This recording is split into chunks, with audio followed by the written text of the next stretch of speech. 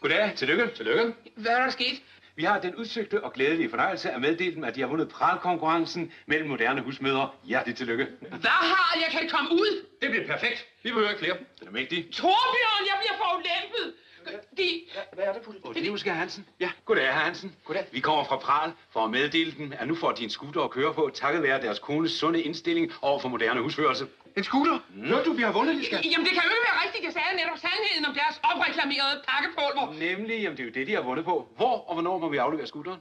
Der skal ikke afleveres nogen scooter nogen steder. Jeg- jeg skal nok komme og hente den. Hvor må jeg henvende mig? Her, her er vores kort. Værsgo her. Åh, tak. og hjertelig tillykke, herr Hansen. Mange tak. Ja, undskyld, vi bliver nødt til at løbe. Vi skulle jo gerne se og få det i eftermiddagsbladen. Ja, Kom det- med, kom med. Farvel.